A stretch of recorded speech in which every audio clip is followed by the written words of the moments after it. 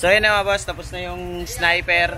Sasalang ko na yung aking beat, aking click sa dyno. Titignan natin mga boss kung ano. Kung ano yung top speed niya. Highway pag nag-road test kayo. So mas maganda dyno. At ang kagandaan ng dyno dito sa Datatech, medyo makunat siya magbigay pero malakas ang resulta niya.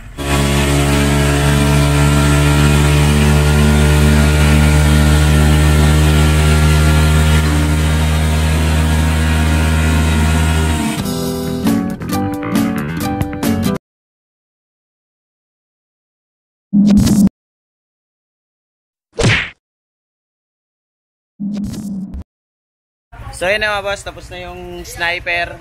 Sasalang ko na yung aking beat, aking click sa dyno. Titignan natin mga boss kung ano. Kung ano yung top speed niya.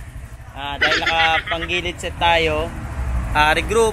Tapos yung pull set na kalkal. Tapos piggyback. Ah, revive ECU.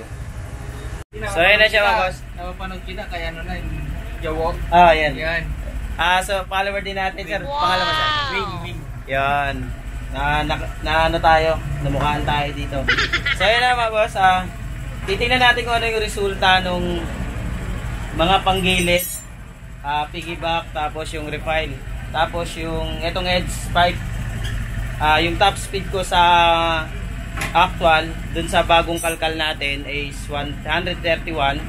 Titingnan natin ngayon, at hindi po ako naka PCX na pulley ah. Click lang, click na kinalkal, hindi po avocado na PCX. Tapos inaantay ko nga yung ah, kal ah, yung PCX na kalkal, inaantay ko pa yon. So babalik at babalik at babalik at babalik kami dito sa Datatech. Sa lahat ng gusto magpa-tune, magsalang ng dyno, open po dito. Pwede po kayong pumunta rito, magpasalang po kayo para makita nyo yung top speed nyo para hindi masyadong delikado sa sa highway pag nag-road test kayo. So mas maganda dyno. At ang kagandaan ng dyno dito sa Datatech, medyo makunat siya magbigay pero malakas ang resulta niya. So hindi ko lang alam kung anong top speed nito ngayon. Ah, ipapakita ko na lang sa inyo kung ilan yung horsepower, yung max horsepower tsaka torque, kung ilan yung ibinigay nung set ko. At sa lahat ng interesado ng gusto mag-set ng ganito, pwede naman mga boss. Tapos, may nabanggit sa si Boss June ah yung yun na reprogra reprogrammable yun yung ma-market namin. Susubukan ko muna tapos pag okay ah, titignan natin siya mga boss. So yan na mga boss sa first time may salang sa dyno yan so sa lahat ng gusto magpa-tune mag dyno test. Sa lahat ng gusto magpa-tune, magpa-dyno test, pwede kayong magpasalang dito sa Datatech mga boss. At murang-mura lang, bisita na lang po kayo dito. Search na lang Datatech mga boss. So pinapainit muna yung makina. Papainit muna yung makina para mas maganda yung takbuhan mga boss. Ayan, nakalak siya. Tapos, balita ko napakakunat talaga to. to.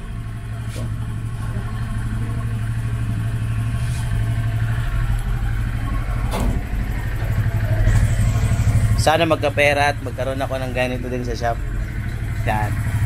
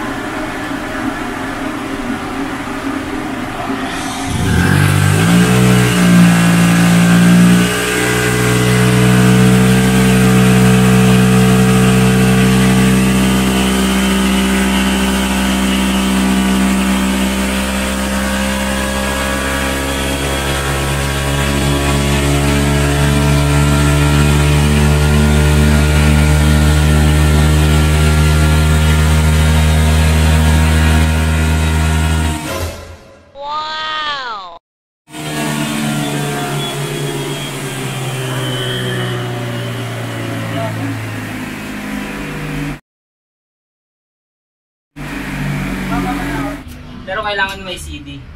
Spec. 139.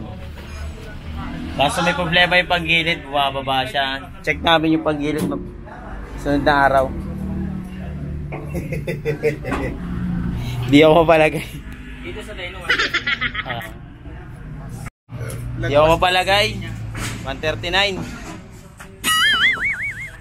Para sa 1, 125, 139. Di na masama. Eh, baday mo ulit mo to. Umalik ka ng stock max. Hindi, okay na daw yan. Sabi niya. At para matapos yung mission. Ah? Ito, mas maganda. Hindi natin nilalaman. Ito ba, boy? So ayan. Not bad para sa 125.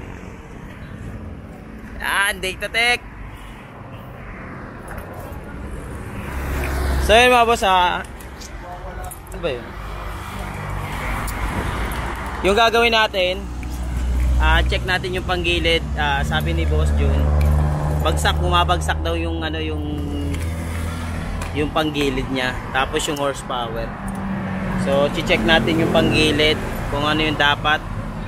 Ah, titigasan pa daw yung spring. Pero titingnan namin yung panggilid kung ano pa yung dapat gawin para mas mapalakas natin to. Hindi na masama 139 sa dyno sa dire-diretsong daan. So, sabi nga nila, yung dyno daw ni Datatech, ah Boss June, makunat. Kaya hindi ako magtataka kung bakit medyo maliit lang ibibigay, pero malakas yon. Ah, i-compare nyo sa ibang dyno, sabi niya, sabi ng iba, sabi ng iba, compare nyo sa dyno ng iba, mas malakas talaga yung dyno nila dito. Kahit mababa, pero yung power na ibinigay doon, mas malakas talaga. So yun mga boss, at kung napanood nyo yung video, kung napanood nyo yung video tungkol dun sa regroup, at napakalaki ng binigay na torque power. Ang laki ng binigay na torque power doon sa regroup. At sa lahat ng interesado, bisita lang po kayo sa shop. At sa lahat ng gusto magpa-tune, mag-adjust, ah, magsalang ng dyno dito, bisita lang kayo, no? Murang-mura lang yung salang nila ng dyno. Tapos kung gusto nyo makita yung actual na speed, salang nyo sa dyno, magpanggilid kayo, magbell kayo, lahat, ECU. Aso nilalabas namin yung ECU. Uh, re-reviewin ko muna yung ECU na para dun sa ano sa click ko yung ECU na reprogrammable siya po mag-tune si Boss Jun. Uh, tuner po ng Datatech yan mga boss. At yun abang-abang na lang kayo sa next video namin. Uh, huwag nyo kalimutan na mag-like and follow para updated kayo sa lahat ng mga video namin mga boss